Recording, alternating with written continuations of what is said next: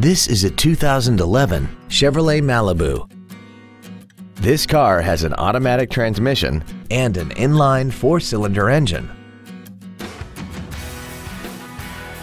Features include a navigation system, a low tire pressure indicator, traction control and stability control systems, side impact airbags, latch-ready child seat anchors, air conditioning, cruise control, an anti-lock braking system, a keyless entry system, and this vehicle has less than 65,000 miles. Please call today to reserve this vehicle for a test drive.